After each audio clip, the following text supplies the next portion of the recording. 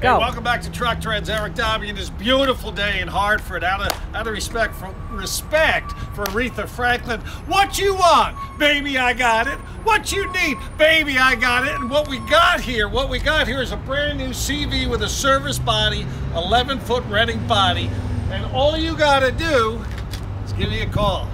I got it here. We got a beautiful 23,000 GVW two wheel drive service body. What you want, baby? I got it. And that's your truck trends tip of the week with Eric. That beautiful, beautiful Hartford, Connecticut. Have a great day. Love you, Aretha.